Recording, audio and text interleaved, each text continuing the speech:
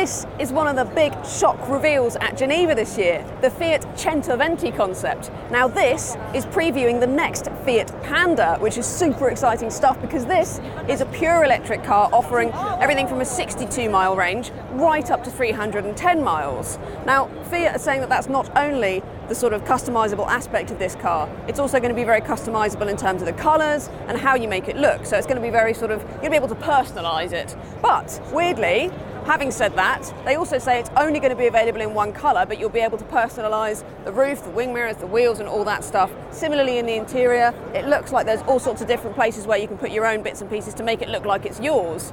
So, not only is this going to be a completely new platform, Fiat's first pure electric car, but it looks fantastic. So I think it shows a new design direction as well. It really does represent big new things for Fiat.